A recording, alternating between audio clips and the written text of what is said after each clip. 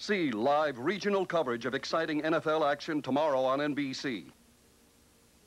Donna Summer, live, and more. Last chance.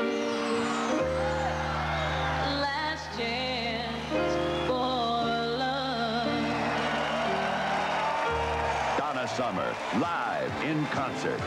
It's all you'd want from summer and more. Live and more from Casablanca Record and Film Works.